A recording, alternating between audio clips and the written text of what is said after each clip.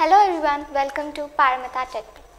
A lot of things come into our mind when we hear the word culture. Culture consists of many aspects like belief, rules of conduct, patterns of social, political and economical organizations. But coming to Indian culture, there are many aspects to look into. If we go some more years back to ancient India, the cultures and traditions are seen in people, reflected in people. But now, can we see those cultures? No, they are faded off. But as there is a drastic change in technology and development, we can, we can come to know by scientists that there are many scientific facts hidden behind these cultures and traditions. We can just say that our Indian culture is not only for traditions but also for welfare of everyone.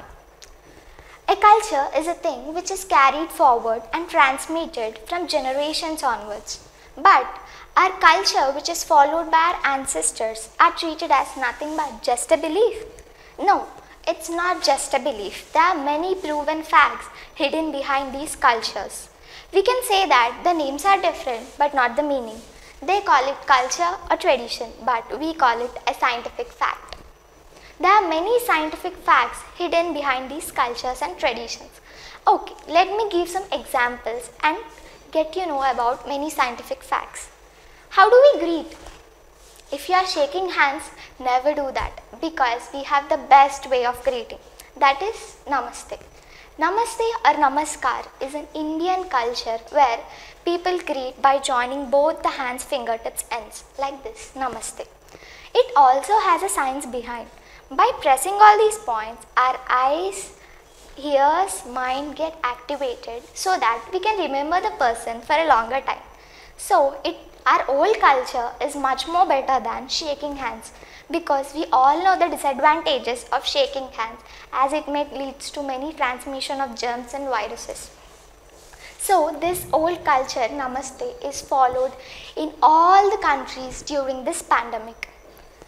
Can you imagine the sky without suns and stars? How incomplete it looks, how odd it looks.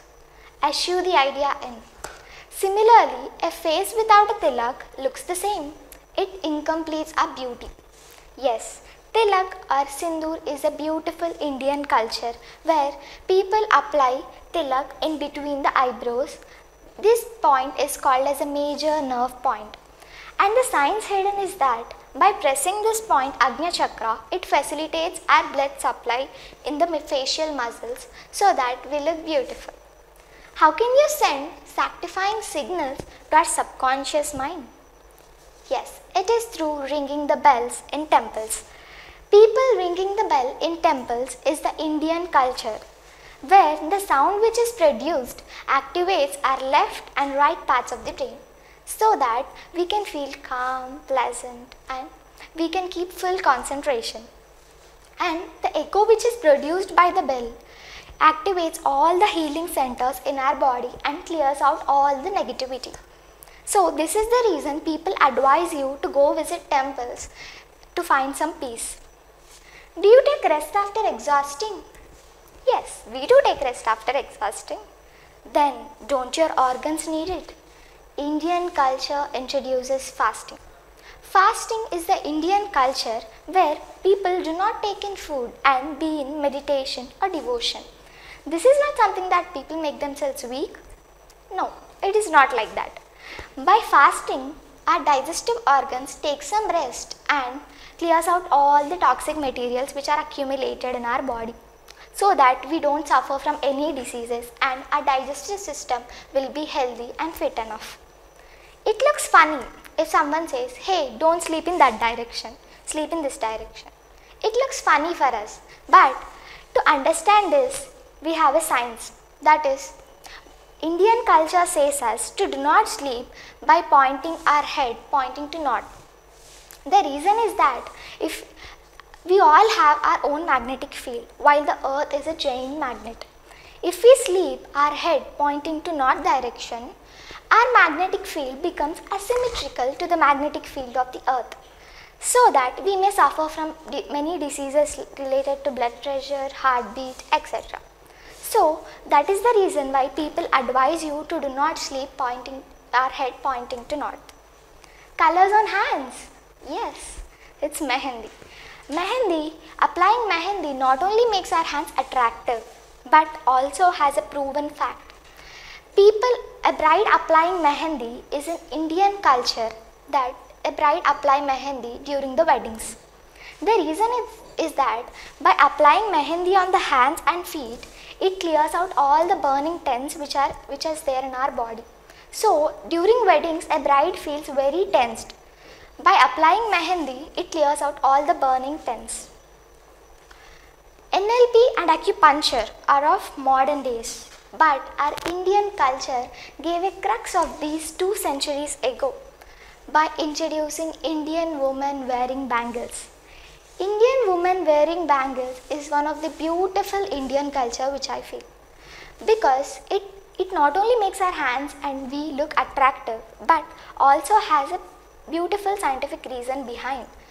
By, uh, by wearing bangles in the hand, wrist part of the hand, the reason is that it, it creates a constant friction in our hand so that our blood circulation levels increases and we'll be healthy and fit enough.